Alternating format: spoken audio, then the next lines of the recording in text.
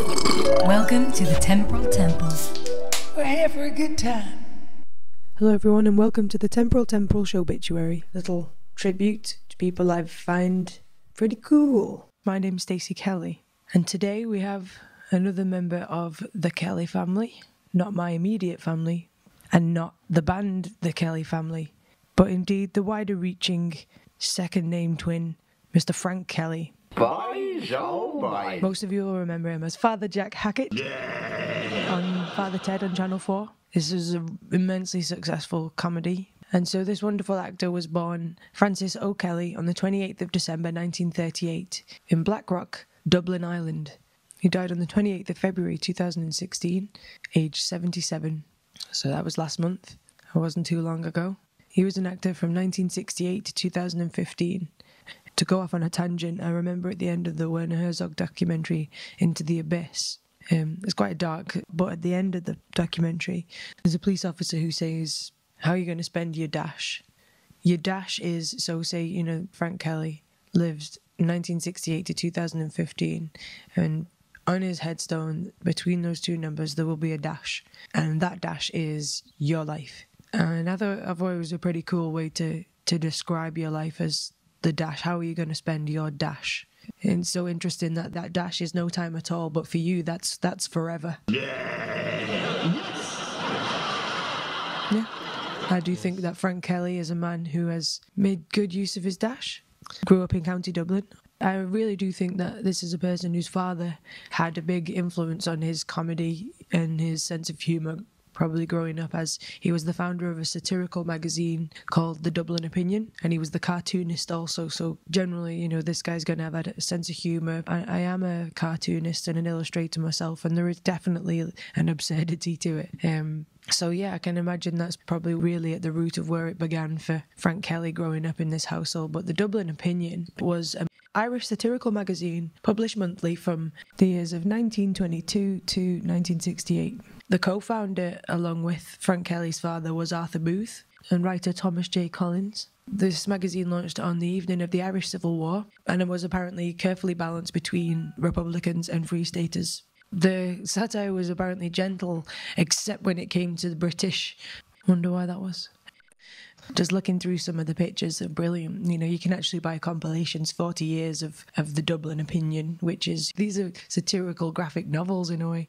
For instance, a light-hearted image that I like is you have the mother stood at the fireplace speaking to the children, and she is pointing to the wall, to which there is a checkbook pinned open on display, pride of place on the mantle, and the caption with the image says, and that's the checkbook your father fought within the economic war. and a sketched aerial view of Ireland with a signpost stuck in it saying shortly available underdeveloped country. Unrivaled opportunities, magnificent views, political and otherwise, owners going abroad. Yeah. Some of the covers were just great. In uh, 1928, Booth passed away. Kelly and Collins took over the project as joint editors. By mid 1960s, it became less popular, and Kelly and Collins were forced to close it up. And I guess it wouldn't matter that that magazine was losing popularity, because meanwhile, young Frankie, pooh, his career starting on a trajectory. Come a long way from his pantomimes, landed his first film role in 1969 Italian Job alongside Michael Caine. He played a prison officer. And then, of course, The Real Deal, a children's program, Wanderly Wagon.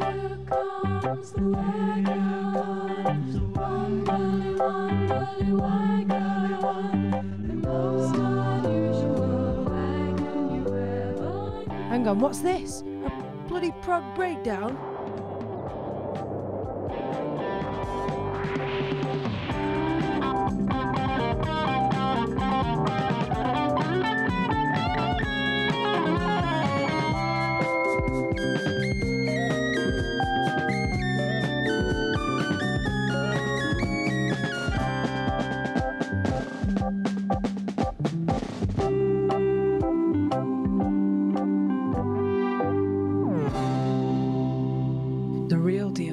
Children's program Wanderly Wagon with co stars Eugene Lambert and Nora O'Mahony.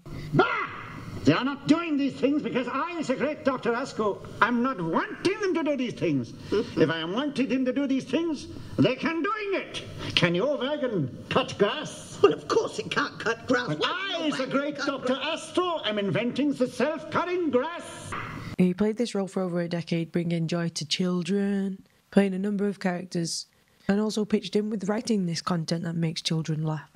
During this decade of children's entertainment, also worked on Hall's Pictorial Weekly, and I bet this was just awesome for his father, as it was an Irish satirical television series. And so, Papa, I did good. It featured satirical sketches, and the sketches were on actual current news stories and um, politics, popular culture, and so on. It's a rail job in the EEC. Oh, the hope? There's big money for it, you see. More than Jack Lynch gets. The. Right. And expenses. And free travel. And duty free drink on the aeroplane. There's the thousands in for it. Thousands. Right. Mr. Hawkins. And, and there's only 15 jobs. Right. You know what I'm going to tell you, Mickey. There'll be someone killed before this is over.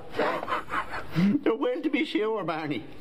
They'll gut one another over them 15 jobs. boys, oh boys. So yeah, it was quite a charming series. It was like a little bit of Fry and Laurie or something like that. It was funny. It was. It did have a charm to it. it this made Frank Kelly's face a household face. And then of course we have the era of Father Jack Hackett in the comedy series Father Ted. He was a man of very few words. In fact, four. a man of four words. Uh, four words. They are feck, ass, drink, and girls. And occasionally you get a what or a women's knickers, but feck, ass, drink, and girls. That was this man's fucking job. That was his job. To say those things. feck, ass, drink, and girls. Whereas the real Frank Kelly was nothing like this man. It couldn't be more far removed from Frank Kelly's actual persona. He's um he's reputably full of stories, serious, and apparently just has occasional bursts of laughter. And there's a great quote from Kelly, but there's a great quote from Kelly, which is I like humour, but I'm very suspicious of people who laugh all the time. Because they never listen to what you're saying, they always have another agenda, and they generally have no sense of humour. The most untrustworthy body language I know is that of the person who laughs all the time. People with no sense or a very limited sense of humour, I'm very wary of too, because it's not a sign of great intelligence to be without a sense of humour. If you've no sense of irony, you haven't a great decision making capacity, because you must see all the possibilities of the downside of any decision. Oh, and I love that. Yeah, and I, I love that, and I get that. You know, the more the older I get, the more absurd life becomes, and my sense of humor almost feels like a, a barrier with which to protect myself, um, because things can get too absurd. Apparently, the crew would not share a table with Frank Kelly during the filming of Father Ted when Frank Kelly was in makeup because obviously that that flaky skin would crisp off his face and land directly in the food, which is not great. There's something about being ostracized from the lunch table that's just so tragic. I know people who were forced to eat beneath the dinner table because they were messy eaters as children. And I also remember a documentary following this handful of men's experience with Tourette's. And one of the most shocking parts of it for me was just the dinner table situation because one of this guy's tics was to just spit the food directly back out across the table at whoever was sitting opposite and so he, he couldn't eat with the family like that his tics ostracized him from the lunch table much like father jack's flaky skin At that stage, I was drinking over a pint of vodka a day. Yes! Yes. All I could think about was where the next drink was coming from. Drink! I didn't give a damn about my wife, our kids. Yeah. no. With all of your help, uh, I'm coming through it. I'm just taking it one day at a time. That's good. Thank you, Ronald. Now, I notice that we have a new member of the group with us today.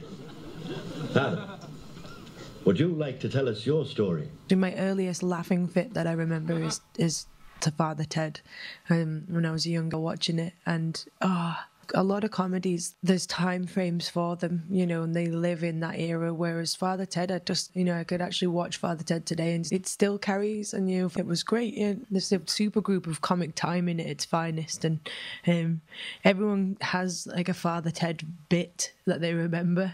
A lot of it was just the moments, like hanging. It's not just the dialogue. Sometimes the gaps between the words and physical acting in that series just are some of the strongest elements of it. Frank Kelly also has a brief music career. In 1982, he released the Frank Kelly Christmas Countdown. It was a big hit in Ireland. It was number eight in the Irish singles chart in 1982, and it peaked at 26 in the UK singles chart in 1984. So George Orwell missed missed that bit. And so it was a sad loss, and Frank Kelly was an amazing actor. But not to worry because his wife of 51 years had five daughters with him and two sons, and they went on to have 16 grandchildren. Oh, Mr. Hawkins, and there's only 15 jobs. Oh, yeah. There are a lot of Kelly descendants, little Father Jack. And so, yeah, that's a great place to leave it, I think. Thank you for listening to the Temple Temple podcast. I'm Stacey Kelly, and to you, Frank Kelly, rest in peace.